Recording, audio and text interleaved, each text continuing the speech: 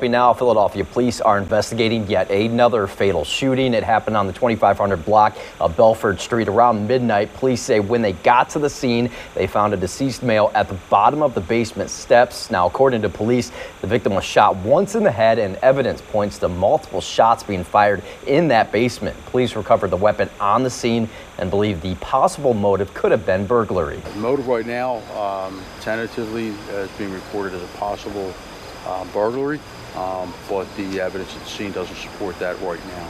We don't know how this male is connected to the address. That investigation is ongoing.